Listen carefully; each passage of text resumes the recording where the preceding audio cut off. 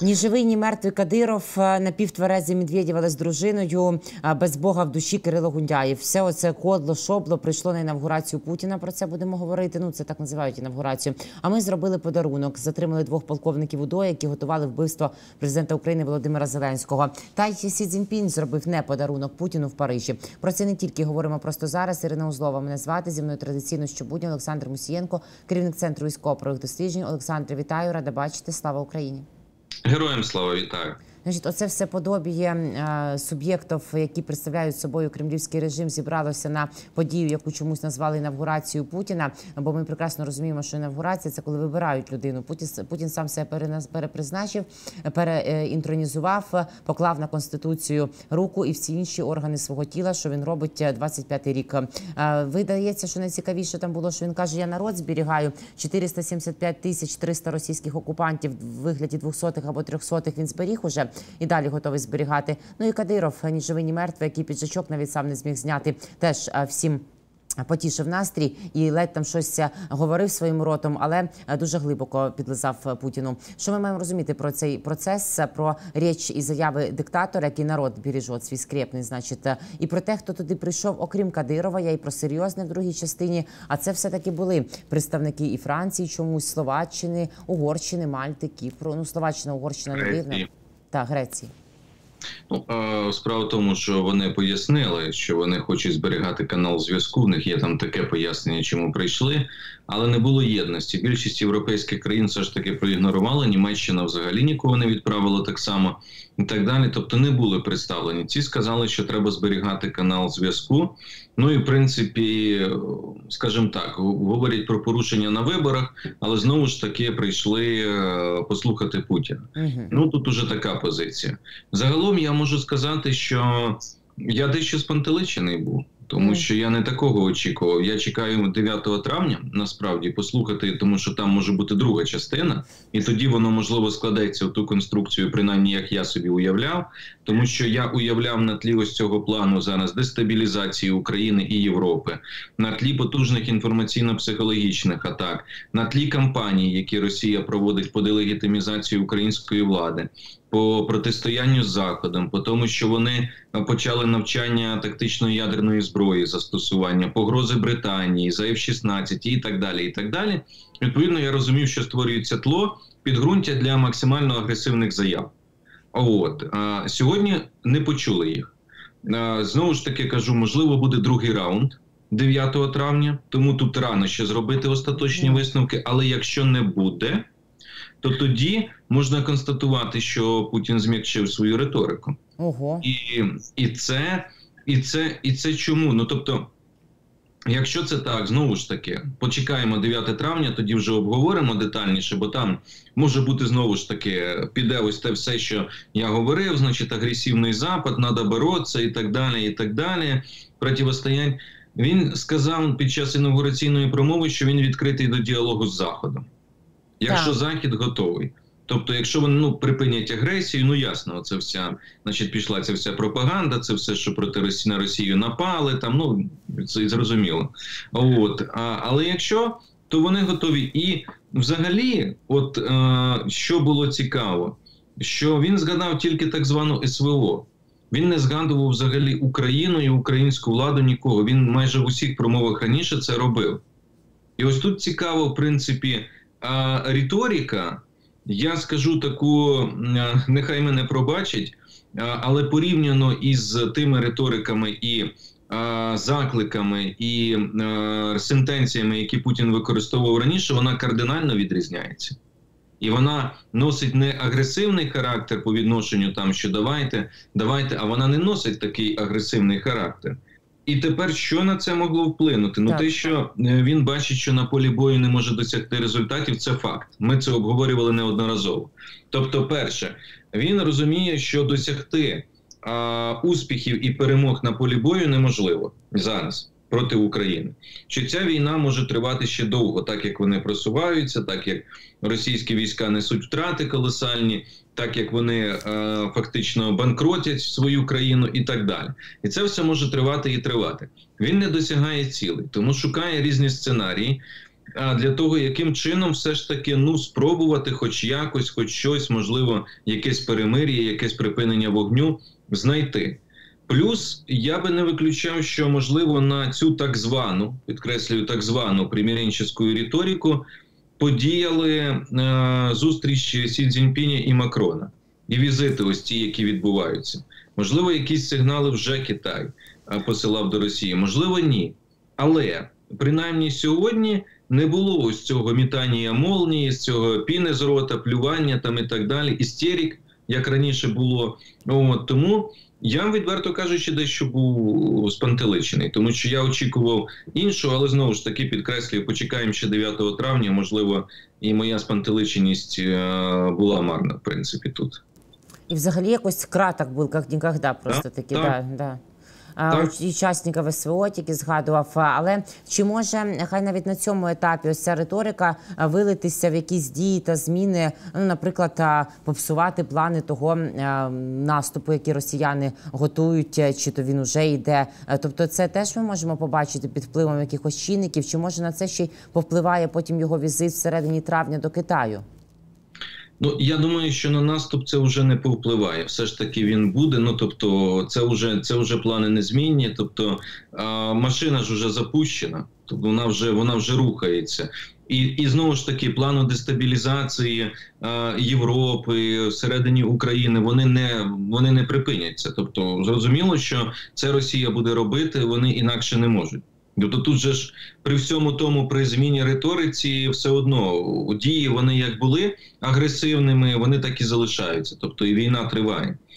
І е, все ж таки ці дії будуть. Єдине, що що таким чином може говорити Путін? Знову ж таки, якщо на 9 травня він це все там не перекреслить чи не скаже зовсім інше. Якщо на 9 травня знову ж таки буде. Ну, скажімо так, звичайно, воно буде там з випадами агресивними, все ми це розуміємо, але не схоже на те, що було там минулі місяці і роки, коли Путін звертався. Це означає, що він може готувати а, своїх там і не тільки своїх, або готуватись до переговорів з Сі Цзіньпінем певних на тлі того, що цілі так званої СВО змінюються, що, начебто, ж і не було мети Харків захопити і Харківщину. А зовсім не ці цілі переслідували. Зовсім по-іншому Росія думала. Не треба так говорити. А нам і не треба цього робити. Він скаже там всередині росіянам і так далі.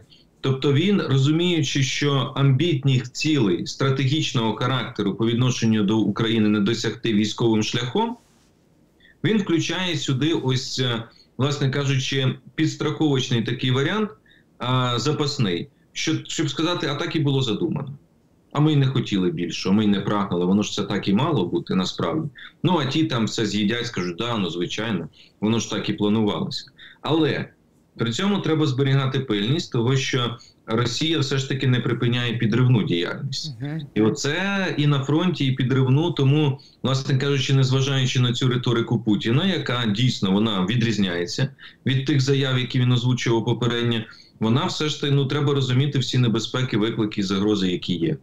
Зараз ми про підривну діяльність поговоримо, але я би ще все таки хотіла спитати про Кадирова, тому що ми відстежуємо і стан його здоров'я, психіки, і дії поведінки. І взагалі Чечня може стати найбільш вибуховим регіоном, зокрема для підриву теж путінського режиму зсередини. Ну він сьогодні прямо гвоздь програми, бо всі звернули увагу на те, як він на силу йшов. А а потім, коли знімав себе якийсь верхній одяг, то цілі два амбали йому допомагали, бо сам був неладний. Нагадаю, що все це на фоні а, інформації свіжої про те, що йому там реанімацію вже підготували виїзну додому. Тим нова газета писала. Ми з вами обговорювали величезний матеріал про те, що від 30 до 80% смертність від е, е, того е, некрозу ниркового, який у нього є.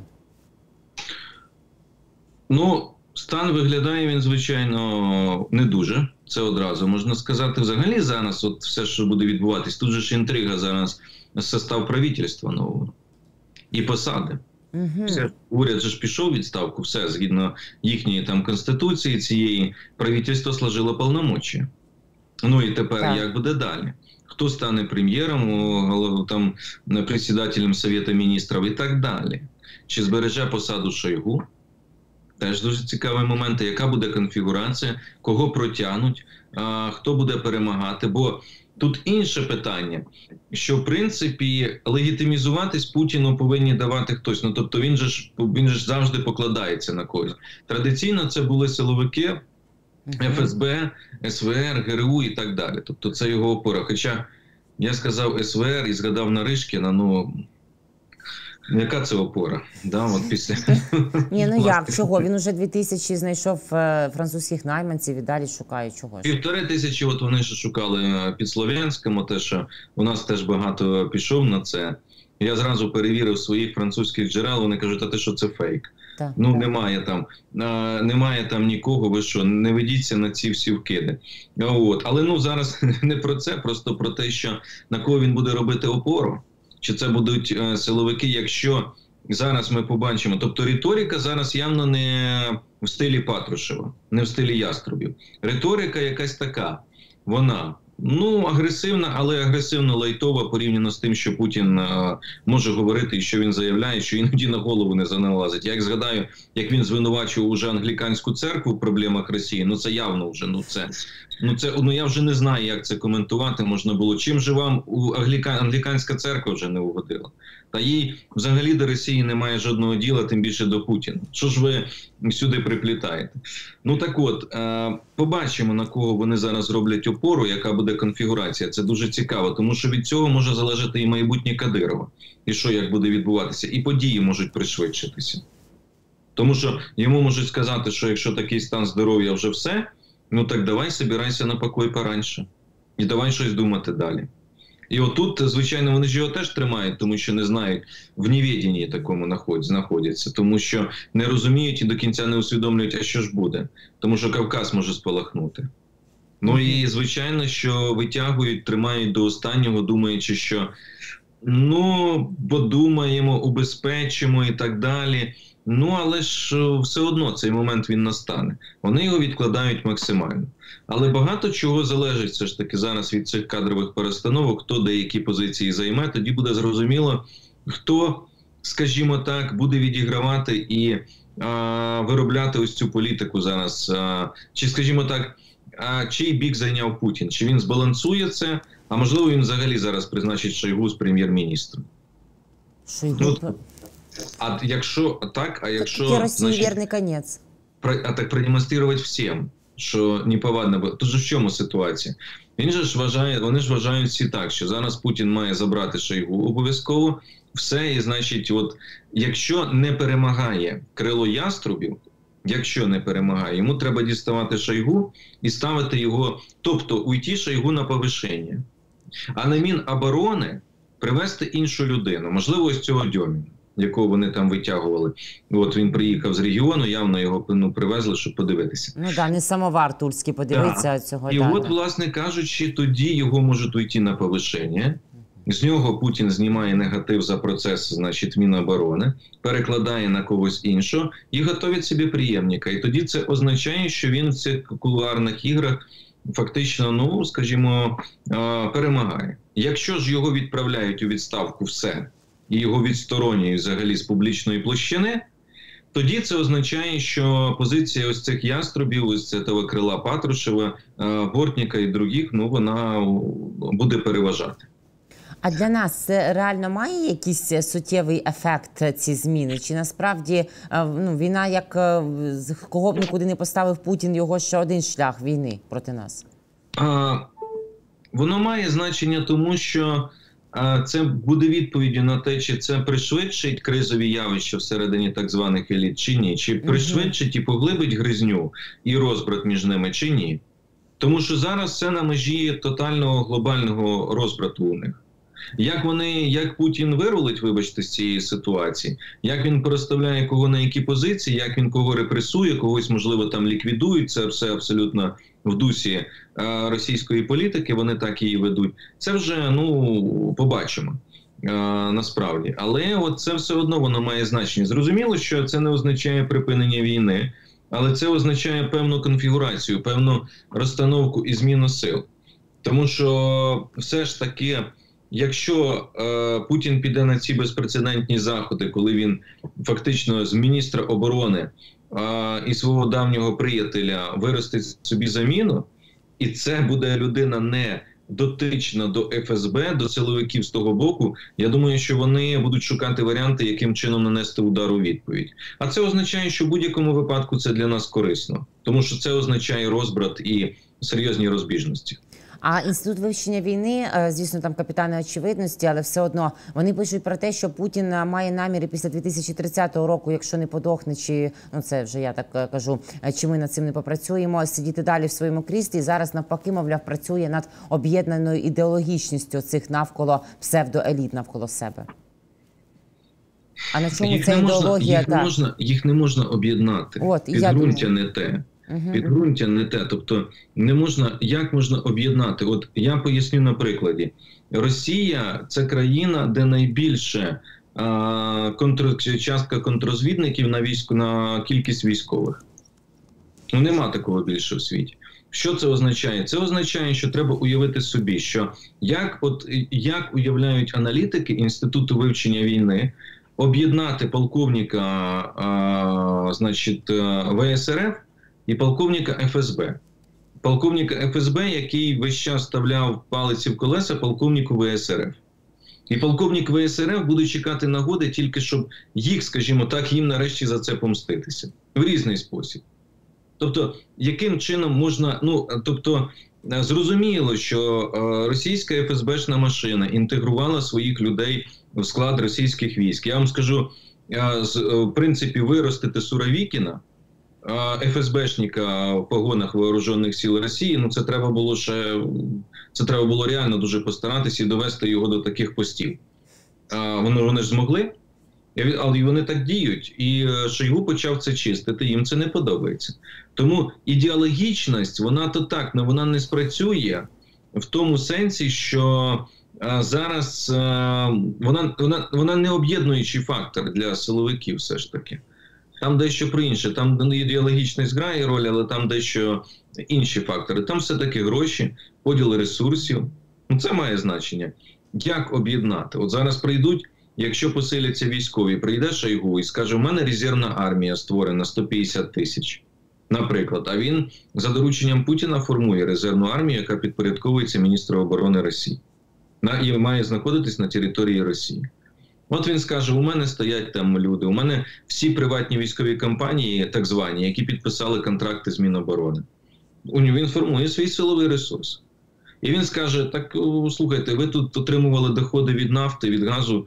Тепер це має належати або давайте ділитися, або це має належати нам, тепер нашому клану, тепер і там представникам військових. Все. І що тоді? А тоді а, ну вони спробують так усунути його від якоїсь влади. Якщо це так, ну а він скаже: у мене ж силовий ресурс, що будете робити? Це сподобається. Це об'єднавчий фактор для російських еліт. Я не думаю. Про підривну діяльність обіцяли ми поговорити. Служба безпеки України викрила мережу агентів п'ятої служби ФСБ РФ, які готували вбивство президента України Володимира Зеленського. Реалізувати зазначені плани мала агентурна мережа, яку завчасно викрила СБУ за сприяння управління державної охорони. До складу мережі, діяльність якої ФСБ курувала з Москви, входили двоє полковників управління державної охорони, які надсилали до Росії секретну інформацію. Що маємо розуміти про ось цей подаруночок Путіна до інавгурації? Як вони проникли і працювали в лавах УДО і. Як довго взагалі ведуться такі справи, і як добре, що ми над цим працюємо і виявляємо їх. І відтак, як, як це спричинює, вони і далі будуть все одно лізти, думаючи, що там раптом хтось не помітить, не побачить, чи це все таки їхні наступні потенційні такі підривні підривні плани підриває з нашого боку. Будуть лізти, одразу скажу, не, не зупиняться. Тобто, все одно будуть намагатися, особливість зараз ось цієї підривної діяльності, про яку я говорив. Я вже описував цей план, не буду повертатися до нього, деталізуючи його. Ми вже про нього говорили. Одним із елементів цього плану, який зараз активований, фактично, ну його, скажімо так, завершальна фаза. Він проєктувався раніше, він обговорювався, ясна річ там раніше спецслужбами Росії. Зараз активований його фінальний етап. Тобто, що означає фінальний етап? Ми бачимо ну цей план в дії. Це оголошення президента України Зеленського в розшук в Росії. Це е, продовження вкидів з російського боку. А зараз уже пішло по російських інформагенціях. Мовляв, Сполучені Штати домовляються з українськими політиками про вибори, щоб е, не обирати діючого президента. Це пов'язано із тим, що пішли інші вкиди, доволі таки серйозні. І найголовніше, що одним із елементів цього плану, дійсно, я про це розповідав, був момент пов'язаний із е, підготовкою замахів на державних діячів України, в тому числі на президента України, лідера нашої держави Володимира Зеленського. Крім того, була попередня інформація і підстави вважати, що такі ж замахи готуються на керівництво нашого розвідувального співтовариства і спецслужб українських, так само на українське командування. Мова йде про головнокомандувача і командувачів, тобто доволі таки серйозно. І тут же ж е, в чому ситуація, що потрібно зберігати пильність і далі ще стеження, виявляти можливі такі прояви, тому що Росія, я думаю, від таких планів не відмовилась, і ще можуть бути якісь агенти, або можуть вони застосовувати інші способи, аби це реалізувати. Ну, це частина плану російського, і дуже добре, що спрацювала тут наша служба безпеки, в тому сенсі, що нейтралізувала і запобігла цій загрозі. Ну абсолютно для мене немає сумнівів. От е, знову ж таки, е, ми е, якось пам'ятаєте, після удару по Одесі, коли там був грецький прем'єр-міністр а, і президент України. От я якраз і згадую, бо тут таке описується, що дуже подібний міг бути план виявлення точок, відправлення туди ракет, перед тим дронів. Да. Це Так. можливо теж було таке. Абсолютно. І тоді я сказав про те, що це був цілеспрямований замок, і не треба навіть думати, що це там щось випадковість. Більше того, тепер дивіться на інший момент. Справа в тому, що Росія буде розігрувати сценарій, як би там не було за путінської риторики. Ну ще знову ж таки 9 травня. Під що вони хочуть підвести? Вони хочуть підвести, що мовляв, е, е, президент України втрачає свою легітимність. Ну це треба розуміти. І люди, вкотре мають у нас розвивати критичне мислення, не вестись на ті вкиди, які будуть. А вони будуть, а вони будуть вони активізовуватися шалено. Треба бути до цього готовими різними ботами, там пабліками і тому подібне. Так, от вони підводять до цього, що втратив легітимність, тому є. Ну, як е, головою терористичної організації, ось так вони прямі аналогії з тим, як було з Джахаром Дудаєвим в Чечні. От Джахар Дудаєв, е, для якого Росія зробила все, щоб він вимушений був тоді покинути Грозний. Він переховувався в горах, але він був легітимний президент. От е, і як це сталося? Це сталося так, що вони виявляли місце його знаходження. Врешті вони виявили, коли Дудаєв зателефонував одному російському політику за допомогою телефону. Вони вистежили сигнал і нанесли удар двома ракетами. От, власне кажучи, а знову ж таки, ось ці кейси, про які ми говоримо, вони подібні. Тому, звичайно, що тут потрібно зберігати пильність, і дуже добре, що наша спецслужба так спрацювала, тому що ці спроби можуть повторюватися.